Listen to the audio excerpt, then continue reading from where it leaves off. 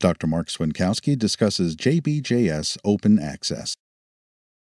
We started Open Access a couple of years ago in response to the international movement towards open access.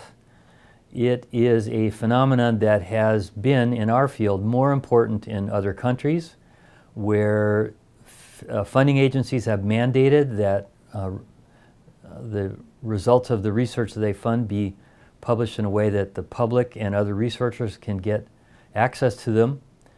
And so we have uh, endeavored to maintain our high editorial standards uh, and to create the, the next tier of manuscripts which perhaps are not strictly appropriate for the flagship JBJS, but are really high quality methodologically uh, and where uh, departments and hospitals and universities have provided funding to publish in an open access environment we have uh, been very, very selective in what we've uh, published to, to make sure we're not in any way, shape, or form uh, diluting the overall JBJS brand.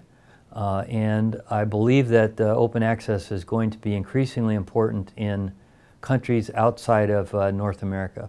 JBJS Open Access is continuously published online. Its peer reviewed content can be viewed at jbjs.org.